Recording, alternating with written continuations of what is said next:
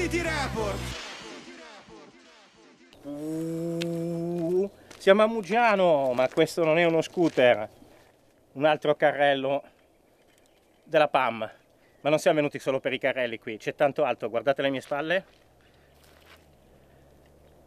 Seguiteci. City Report.